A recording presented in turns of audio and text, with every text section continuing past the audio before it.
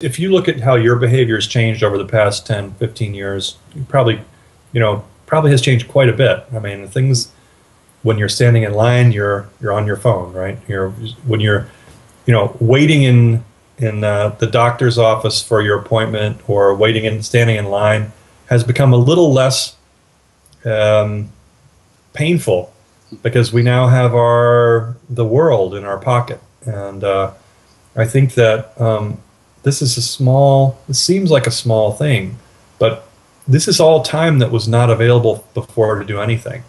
This, this wasn't time that we had available before. So what are we doing with that time? We're connecting with people. We're buying things. We're sharing more information. We're arguing more. But I think you know this is actually uh, a big part of the cause of uh, the changes that are going on. We, we've now soon with Google Glass and other kinds of wearable computing, we're going to be walking computers. I mean, we already are. We walk around with computers in our pockets now, but soon we're going to be walking computers. And you know, uh, you think about what's going to happen with medicine when, you know, we have we have sensors all over us, just the way our cars have sensors, and you know, you know, the thing is that we are, uh, you know, the consumer is increasingly becoming the center of their universe and they have less and less patience. For example, um, I've bought I've bought a lot of real estate here and there over the years.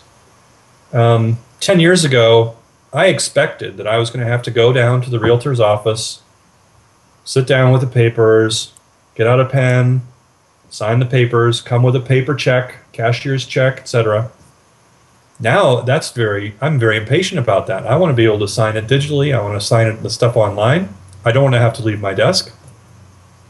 I uh, I'm very impatient if they can't take a wire transfer instead of a uh, if they need to get a paper check. I don't have the time to go to. I don't want to make the time to go to the bank. I don't want to make the time to go to the realtor's office. I want to be able to do it from my desktop. And and if you can't do it, then I'm going to find a realtor who can. You see what I'm saying? And this is this is just one part of this big trend I, I see that you know companies who you know can't figure out how to re-engineer themselves to map to that world are uh, you know they're gonna it's going to be like the newspaper business. They're going to be working with increased their customers are going to be just older and older and older. And then eventually their customers will die and all of the new business will have gone to these other companies I guess the dark side is that if we're all, you know, walking computers, then someone who has control of the network or has the visibility and the ability to see into the network will have um, more control over us, be able to watch us. I think that's true.